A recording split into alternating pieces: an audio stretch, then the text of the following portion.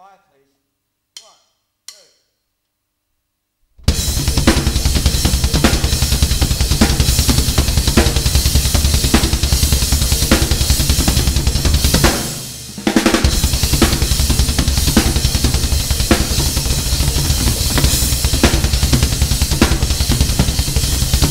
On the east coast of Australia, within the state of Victoria, this is the city of Melbourne. Melbourne boasts an incredible mix of talent in the performing arts, ranging through theatre, TV, and film to possibly its greatest artistic export, music. Its roots firmly embedded in music culture, Melbourne's live music venues have for decades been the melting pot responsible for moulding some of the most exciting new talent on the world market today. Just five kilometres northwest of Melbourne's central business district is the suburb of Northcote and the home of Australia's most progressive retail store.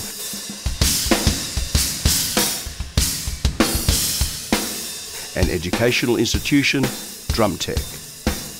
While the intention of the Ultimate Drummers Weekend was always the introduction of new talent to the program, it became obvious that to celebrate 10 memorable years, it was only fitting that some of the event's greatest supporters and most popular performers should be given the invitation to return and celebrate a milestone in the event's history.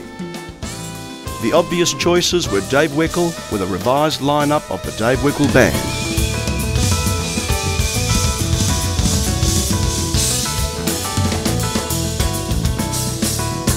And of course, the Australian drumming community's favourite son, Virgil Donati, now an internationally recognised drumming personality. Supported by a massive ensemble, Dave Weckl and Virgil were joined in celebration by Luis Conte, John Tempesta, Dom Famularo, Elian Fanova.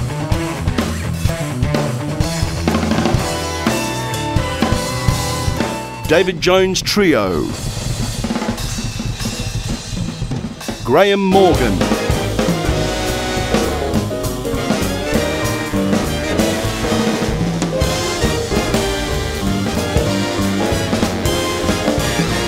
Darren Ferrugia.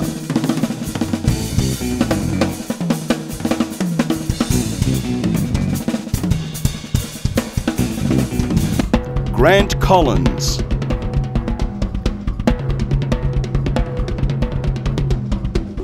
Gordon Rytmeister with Sunil De Silva. Mike Richards.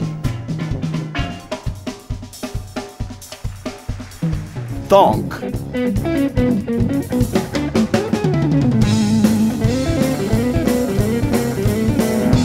Teropai Richmond with Bruce